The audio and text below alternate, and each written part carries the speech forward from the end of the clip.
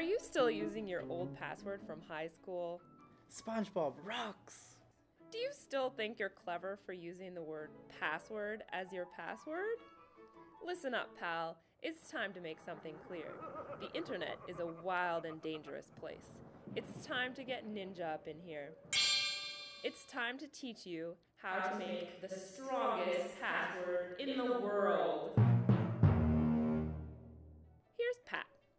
He thinks his password is perfect. Then one day, his account gets hacked and he sends that girl he really likes a link to a weight loss pill website.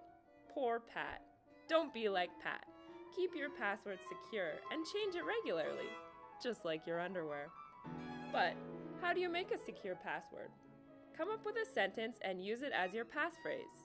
I like cats, every kind of cat. Take the first letter from every word of a sentence and use that as your password. Replace some of the letters with numbers and symbols.